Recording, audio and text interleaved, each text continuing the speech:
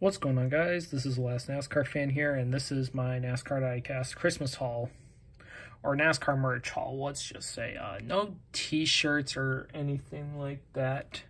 Sadly, I didn't get anything but on the merch side for like apparel, but however, I did get this. A 2005 uh, poster signed by Biffle.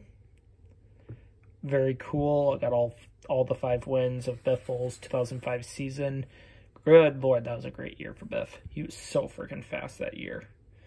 And then it was like 2008, it was his second best season. 2012 was his third best season. But uh, anyway, so got that. Uh, let's go on to some Lucy's. These all came from my grandparents. They went to the Las Vegas flea market and bargained a pretty good deal for all these. I think it was like 15 bucks for all these. Some cool ones in here. Got a few promos like this Auto Tech uh, 98 promo. It's got the, reminds me of the Chad Little font. Got a 50th anniversary one as well. No camera. Hopefully the light will help see, but yeah, another promo. Uh, I think I already have this car, but it's a Marvin Smith ARCA car. Uh, yeah. That might become a custom. We'll see. I might sell it as well. We'll see. Uh, Tommy Houston, Red Devil, Enamels, Ford Thunderbird. I think I have this car. I'm not sure. I'm going to have to check. I know I don't have this one. This is a 95 uh, Rodney Combs uh, Busch Series Lance Snacks Ford from Matchbox. Uh, tires a little f fucked up. It rolls really well, though. Here got 1996. This is the Joe Nemechek uh, Bell South Mobility, Chevrolet, Nemco. It's pretty cool.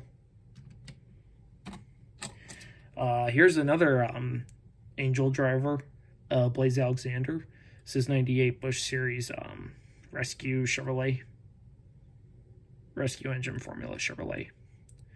So what happened to Blaze Alexander is that he died at Charlotte in an ARCA race, actually. Not a cup, not a NASCAR sanctioned race, but an ARCA race. So yeah, that's the tragic story of Blaze Alexander. We got a Mike Skinner Busch Series car. This is the yellow transportation Chevrolet. This car was also, I think this was in the Winner Circle line, which is very odd.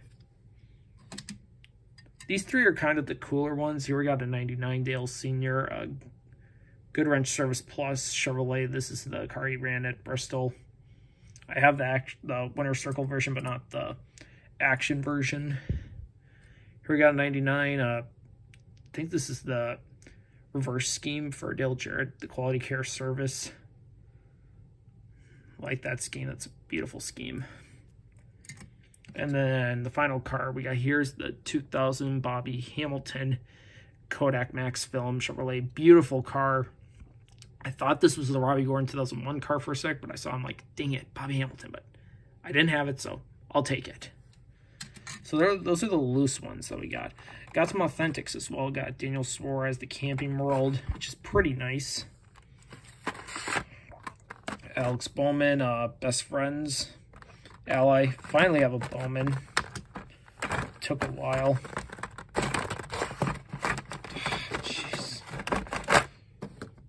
Um, then we got a Martin Sharks Jr. Uh, Stanley.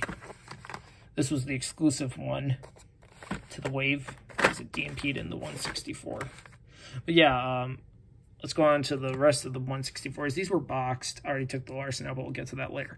But here we have a test track uh, ride vehicle from 97. Really, at, really happy to add that to the Disney collection. And then, holy crap, I finally found one. I got a 2016 Kyle Larson. Finally. All these years of searching, I found one. My mom found one on Amazon. It was 30 bucks. I don't care. I have a 2016 Larson. All I need is a Newman. I have every driver that was um, made in the Gold Series for the 2016 season. Uh, this isn't diecast related as well, but I got a Bubba Wallace uh, Funko Pop as well. So that's pretty nice. So yeah, that is my haul. Uh, comment, like, subscribe, um, hit the notification bell for new videos. And I will see you in the next video. Peace out, guys. Take care.